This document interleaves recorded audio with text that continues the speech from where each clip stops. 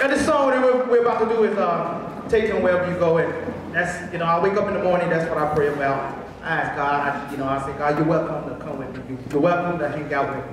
Although sometimes, you know, God, won't come with us or sometimes where we, where we go. But I always ask him to come with me wherever I go. And that's what this song is about. Take him with you. Amen. Oh, y'all all right today? Yeah. All right, all right. I mean, God woke us up and brought us in today, so, you know, that's something to be excited about.